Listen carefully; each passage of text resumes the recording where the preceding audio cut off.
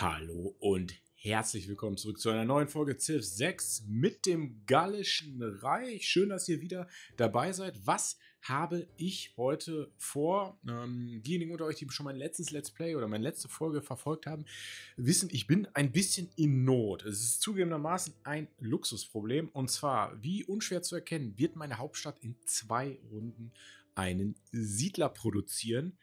Ja, und ich weiß nicht, wo er hin soll. Es gibt zwei Möglichkeiten. Und zwar einmal hier im Süden gibt es einen relativ großen See. Ähm, was spricht dafür? Also See gleich Süßwasser. Ihr wisst, ich liebe Süßwasser. Beste Siedlungsplätze ever. Äh, wir haben hier ein Luxusgut. Äh, wir haben hier diverse Bonusressourcen, wobei die eventuell vom Stadtstaat auch bei Grenzerweiterung geklaut werden könnten. Wir haben hier einen Vulkan. Ich bin kein Freund von Vulkanen, allerdings düngen die das Geländefeld. Und wenn ich die Stadt natürlich clever platziere, hätte ich da auf lange Sicht, no, eigentlich sogar kurzfristig sogar eigentlich schon was von.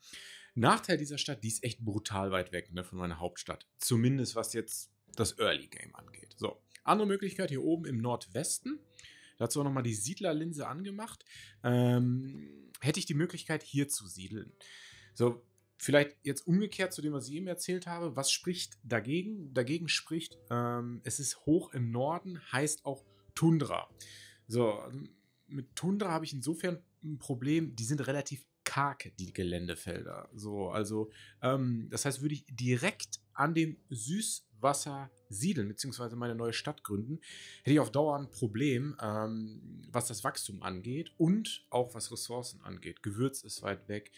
Stein ist weit weg, auch hier die interessanten Weizenfelder äh, auch relativ weit weg. Also ich würde ganz gerne in dieser, Folge, äh, in dieser Folge Folgendes machen. Also mit ihm hier noch so ein bisschen Richtung Norden. Ähm, und dann müssten wir uns in zwei Runden die Karten legen, wo der Siedler hin soll. Also beide haben was. Also hier sind Ressourcen, die ich nicht habe. Ähm, allerdings ist mit Süßwasser schlecht. Hier sind auch Ressourcen, die ich nicht habe, allerdings relativ weit von meiner Stadt weg. Ähm, und dann noch dazwischen Vatikanstadt und noch ein Vulkan. Gucken wir einfach mal. Ich würde sagen, wir machen mal eine Runde weiter und schauen, was so passiert, beziehungsweise was das Spiel für uns in petto hat. So, eine Forschung abgeschlossen. Das Tiefdruckgebiet wandert weiter. Das ist ein Schneesturm, das sieht man hier relativ schön. So.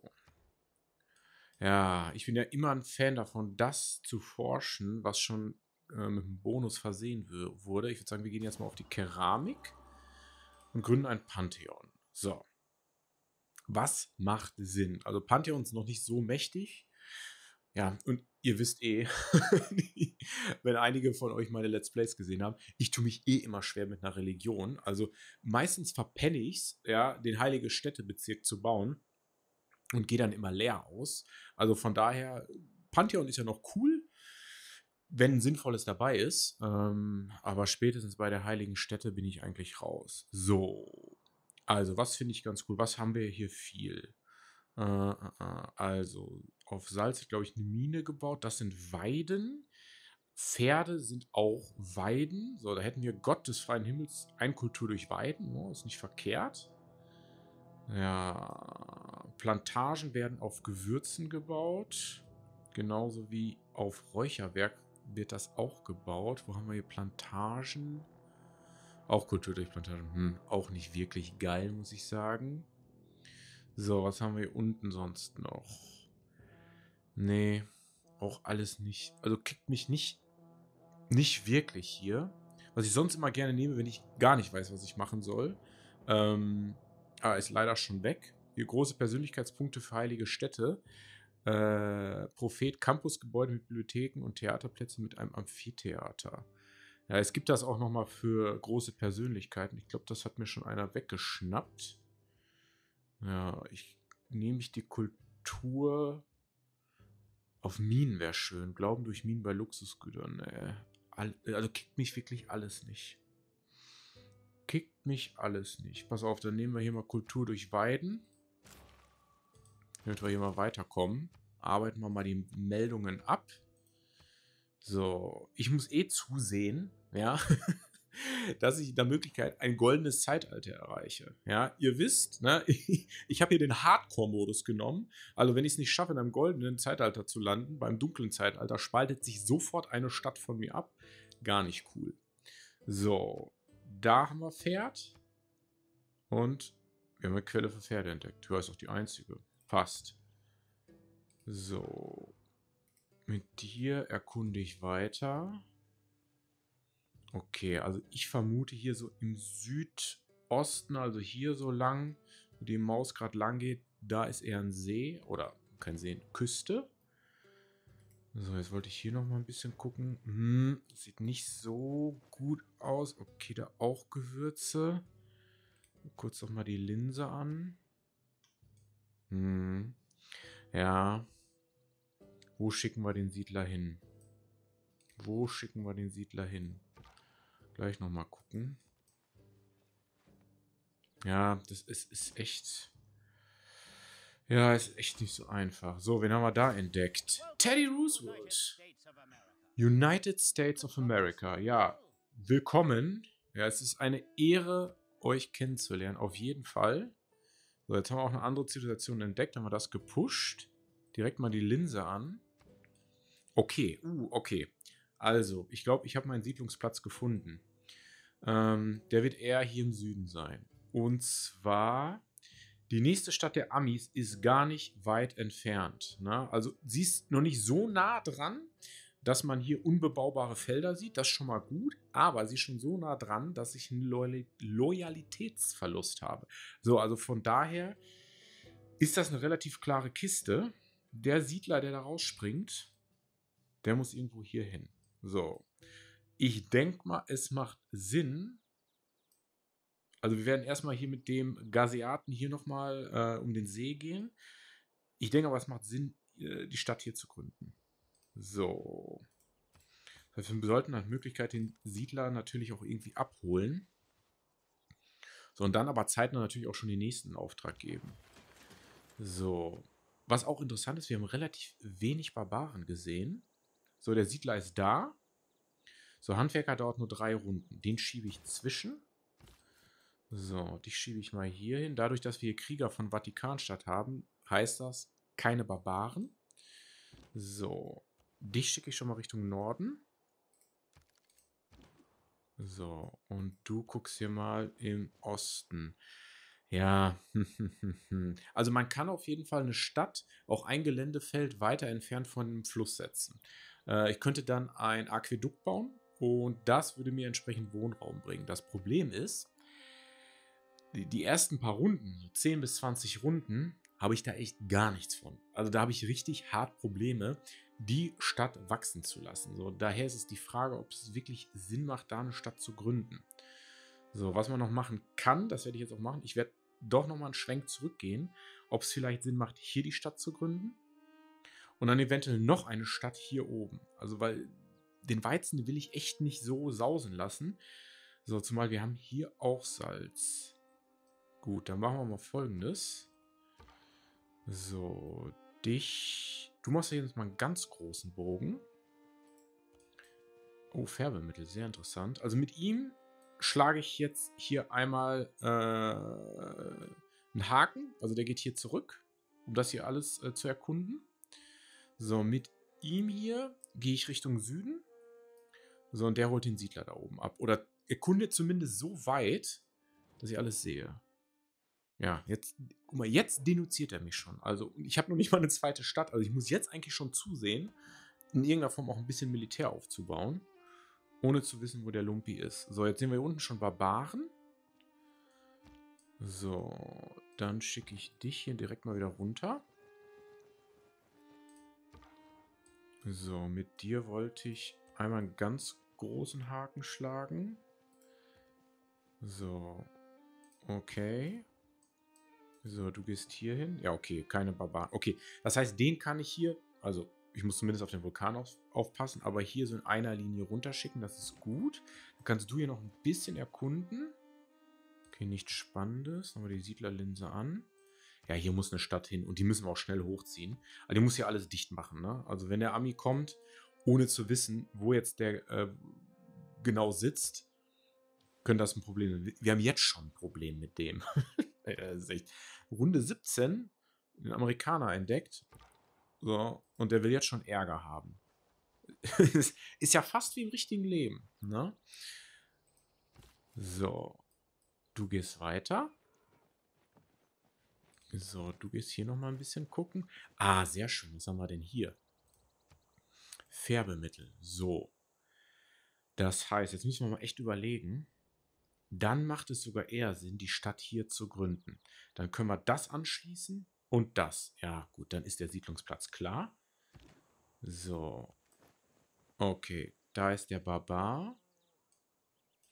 So, können wir irgendwas Schönes kaufen? Schleuderschütze. Wir haben wenig Einkommen. Na, sparen wir erstmal noch ein bisschen. So, Salz können wir anbinden, Schafe können wir anbinden, Pferde können wir anbinden. Perfekt, weil in einer Runde ist der Handwerker fertig. So, oh, okay. Da, die machen schon Ärger. So, jetzt schauen wir mal. In einer Runde ist die Keramik fertig. Ich kann hier eine Weide bauen, hier eine Weide und da eine Mine. So, was wollen wir pushen? Also, wenn wir eine Weide bauen, so pushen wir das hier. So. Da könnte ich direkt drauf. So, wenn wir eine Mine bauen, haben wir erstmal noch nichts, wenn ich das richtig sehe. Eisenmine. So, eine Ressource abbauen, Naturwunder, gut, eine Stadt an der Küste. Ja, ist eigentlich gehüpft wie gesprungen. So, gucken wir mal, wo unsere Bürger sitzen. So, und zwar da sitzt einer. Also das heißt, es wird Sinn machen, den schon mal äh, zu modernisieren. Dann machen wir das. Dann haben wir nämlich ein bisschen mehr Produktion. Weil Produktion, also Wachstum ist in der Stadt scheiße. Machen wir uns nichts vor, sagen wir es mal auf gut Deutsch, so wie es ist. So, aber die hat gut Produktion. So. Ist die Frage, haue ich jetzt einen Siedler raus? Oder mache ich noch ein bisschen was fürs Militär? Ich würde sagen, mal lieber noch ein bisschen was fürs Militär. So. Mit dir, Freund, gehen wir ja hier lang. So. So, du gehst nach wie vor den Weg. Das sieht gut aus. So, ich werde die Stadt hier gründen. Dann kann der sich hier schon mal bereit machen. Von Barbaren muss ich keine Angst haben. Weder hier von Westen. Der hier von Südosten, der wird hier durch meinen äh, Gasiaten abgefangen. So, mit dir erkunden wir jetzt mal ein bisschen. Barbarenlager ausheben ist gar keine schlechte Idee. Das gibt Zeitalterpunkte, Erfahrung und Geld. Oder Gold. Sollten wir auf jeden Fall angehen. Dachte, so. Du gehst straight out. Guck mal, der sagt mir sogar, deine Stadt zu gründen. Okay. So, jetzt gucken wir mal. Ich kann jetzt hier die Weide bauen. So, gehen wir erstmal auf die Schrift. So, du heilst dich da. So, du überquerst mal den Fluss, weil ich glaube, das Barbarenlager wird hier irgendwo sein. So, du erkundest. Und mir fehlt noch ein Stadtstaat. Ich hätte gern noch einen Stadtstaat gefunden. Und hier scheint auch echt viel freie Fläche zu sein, ne? Also Idee wäre jetzt ganz, ganz grob, was Städte angeht. Also hier unten auf jeden Fall. Die nächste, vielleicht doch nicht so weit hier oben, sondern wir gucken mal, ob wir hier ein bisschen Süßwasser oder zumindest Küstenwasser abgraben können. Und noch eine Luxusressource, weil Gewürze fehlen mir jetzt noch. Und dann gehen wir, ey, so viel Platz, ne? Und dann gehen wir eher Richtung Osten. So, go east. Runde weiter. So. Okay, so, das lassen wir, das lassen wir. Handelsweg haben wir nicht. Okay, bleibt erstmal. So. So, dann gehe ich jetzt schon mal auf die Handwerkskunst, weil ich will möglichst schnell auf politische Philosophie, um eine bessere Regierungsform zu bekommen. So. Das hier habe ich ja gleich schon fertig, ne? Also den, den Bonus.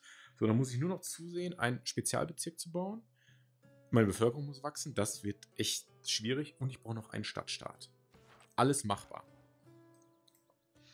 So, hier muss sich doch irgendwo noch ein Stadtstaat verstecken. Das kannst Oh, Süßwasser ohne Ende. Gefällt mir gut. So, dann. Dann machen wir hier auch erstmal eine Weide. Die bringt uns nämlich Kultur. Ja, das ist eine schöne Ecke hier, ne? Also, warte, ich gucke noch mal gerade die Linse.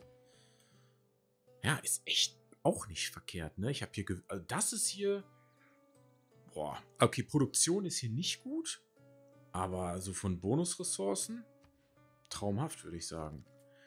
So, eine Runde weiter, der Siedler ist endlich da.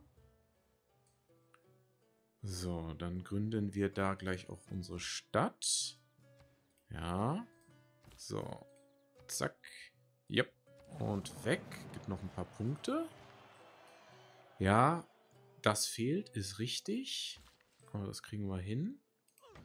Jetzt fehlt mir tatsächlich die Luxusressource. So, und als erstes bauen wir hier tatsächlich mal einen Händler. Und Gouverneurstitel. Gouverneurstitel. So, da tue ich mich immer ein bisschen schwer. Also die finde ich eigentlich super, ähm, um Stadtstaaten dann einzubinden. Pingala sowieso. So. Die Finanzen Truchsess. Äh, gucken wir doch mal, was kann der so Schönes? Nee. Victor brauchen wir jetzt im Moment wirklich. Hier die Vermesserin, die ist auch nicht schlecht. Ja, also wenn man. Hm, hm, hm. Ja, jetzt ist die Frage, was ist uns wichtiger? Forschung oder erstmal Ausbau? So. Da meine Stadt echt gute. Hm. Hm, hm, hm. Nee, ich glaube, ich nehme ihn hier lieber. So, und dann auch ruhig meine Hauptstadt. Ist eine sichere Kiste, gar keine Frage. Oh, oh, oh, okay. Bisschen gefährlich. Da war ich zu gierig. Aber ist kein Problem, den kriegen wir da noch weg. So, dann muss hier irgendwo auch das Barbarenlager sein. Eine Runde weiter. So, das Gute ist, dass hier ein Fluss ist. Ich kann ihn jetzt relativ schnell zurückziehen. Der wird nicht angreifen können. So, das machen wir auch mal. So, du wirst hier dich heilen. So. Auf jeden Fall ein Siedler. Die schicke ich ganz stumpf hier nach oben. Du musst erkunden. So, wir brauchen Salz. Da hätte ich dich erst dahin schicken sollen. Da habe ich ein bisschen gepennt. So, und du erkundest mal so bis hier. Ich will sehen, wo der Ami ist. So, du jagst ihn ruhig mal ein bisschen. Und eine Runde weiter. So, die Frage ist, was kostet uns... Okay, das kann ich leider nicht. Ermöglicht Handwerkern das Wasser. Handwerkern das Wassern. Ich habe ein bisschen zu wenig Wissenschaft. Dreieinhalb ist echt gar nichts. So, das hängt aber auch damit zusammen, dass ich relativ wenig Bevölkerung habe. So, das heißt, wenn ich jetzt hier einen Handwerker bauen würde, habe ich da relativ wenig von. Ich könnte auch sofort den Händler machen. So. Vielleicht machen wir mal folgendes. Ich switch auf Kornspeicher, kaufe den Händler, richte den Weg sofort ein. Das macht mehr Sinn. So. Okay. Jetzt gucke ich nochmal hier, was mit... So, genau, den muss ich nämlich leider zurückziehen. Ist ein bisschen ärgerlich. Ich hätte gern noch mehr erkundet. Vor allem, ich brauche mal langsam wirklich den dritten Stadtstaat. So, jetzt habe ich es noch nicht mal geschafft, die drei Geländefelder zu modernisieren, weil ich so viel Kultur habe. So, jetzt die Frage, bringt uns der Glauben noch was? Gucken wir mal, wie viele Religionen es bisher gibt. Keine einzige? Oh, das ist ja interessant. So, dann gehen wir doch hier eher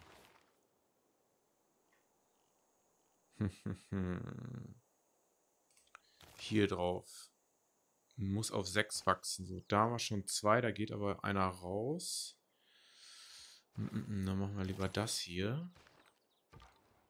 So, du begibst dich hier mal in Schutz.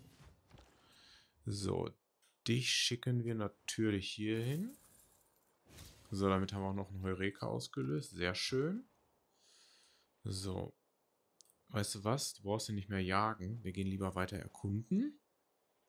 Ein bisschen schade finde ich es wirklich, dass wir nicht so in den Kampf mit Barbaren einsteigen konnten, weil die, äh, die Barbarenlager bringen halt auch ganz gut Geld. So, jetzt haben wir hier einen Steinbruch gebaut.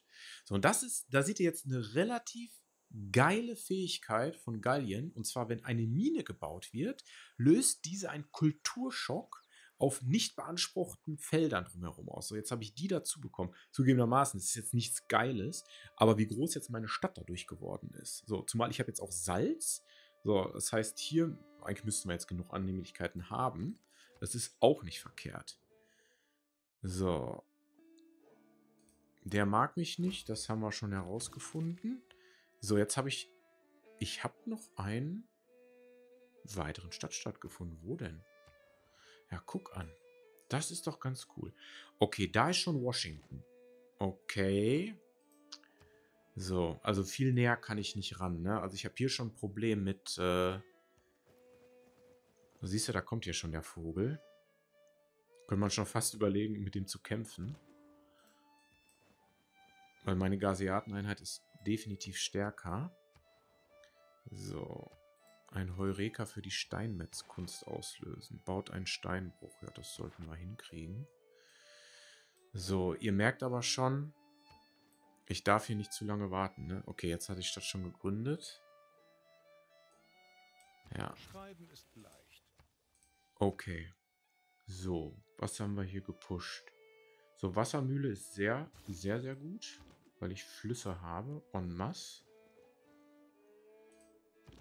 So.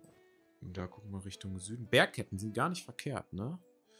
Also die können hier doch durchaus interessant sein. So, er ist jetzt hier angekommen, was man relativ deutlich sieht. So, wir haben hier kein Süßwasser. Tja. So. Ja, da ist halt die Frage. Also, ich spinne mal ein bisschen, was man machen könnte, wäre hier noch eine Stadt gründen. So, da ist zumindest Küstenwasser. Ich kriege Gewürze, ich kriege das Salz, ich kriege Fisch, ich kriege die beiden Weizenfelder. Das wird meiner Meinung nach noch Sinn machen. So, der kommt auch in zwei Runden. Wäre vielleicht gar nicht so verkehrt. So, gucken wir mal. Ah, okay. Dann sollte auf jeden Fall aber vorher das Barbarenlager weg. Ui, und das ist auch nicht unbedingt schwach. Schicken wir dich auch mal wieder zurück. Also das muss auf jeden Fall vorher weg. Da können wir uns auf jeden Fall ganz gut noch Sporen verdienen. So, du erkundest mal schön. Und da müssen wir dich aber auch echt zurückschicken. Meine Städte sind nämlich echt ungeschützt im Moment. So, noch eine Runde weiter. Wie viele Punkte hat denn der? Oh, der ist sogar Erster. okay, gut, dann habe ich jetzt gerade sogar den im Moment stärksten Gegner hier vor mir. Oder die stärkste Zivilisation. Okay, so, der hat gut einen jetzt drauf gekriegt. So, ist der befördert worden? Nein. So, jetzt können wir überlegen. So, ich mache das auch. Also, ich sack den hier ein. Der alleine wird ihn nicht besiegen können. Weil, hätte ich jetzt vielleicht eine Runde gewartet und den heilen lassen, wäre eventuell hier noch ein neuer Barbar äh, gespawnt. Das müssten wir auf jeden Fall vermeiden. So, jetzt müssen wir aber ein bisschen was äh, für unsere Bevölkerung tun. Also erstmal wird ein Kornspeicher gebaut. So, und ich, dich ziehen wir tatsächlich da oben hin. So, ach, guck mal, da ist auch noch Fisch. Äh, na, ich bin schon wieder überlegen, weil das Problem ist, ja, ich, ich gucke zu sehr auf die Ressourcen. Klar, Gewürz ist geil, das ist geil, das ist geil, aber sonst ist hier gar nichts. Nichts. So. Ich könnte es hier gründen, dann würde ich immer noch die beiden Felder bekommen. Den Fisch und das Gewürz. Ich glaube, das ist so das Äußerste. Ja, ich glaube, das sollten wir machen. Diese Stadt, wird, das Land wird zuletzt überschwemmt. Ja, das betrifft aber keine Städte. Ja, ich hätte auch dürfen nicht. Ich habe dann zwar ein, ein, einen, eine Stadt am Wasser gegründet, aber da wird nicht viel passieren. Ne? Also ich könnte hier niemals raus. Ja, oder woanders halt hin, ne? Nee, Nee, nee, nee. Ich probiere das aus. Das ist nicht verkehrt. Das ist nicht verkehrt. So. Dich schicken wir jetzt mal zurück. Wir wissen nicht, was der Ami macht. So, und dann schauen wir mal, wo wir stehen. Also, wir haben erfolgreich unsere zweite Stadt gegründet. Meiner Meinung nach der absolut passende Platz.